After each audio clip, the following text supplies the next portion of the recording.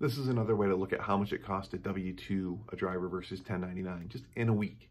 We took a week where a driver made, say, 1300 bucks, and they were gone five days and they're over the road, so you pay per diem, but your FICA tax is going to be about 70 bucks.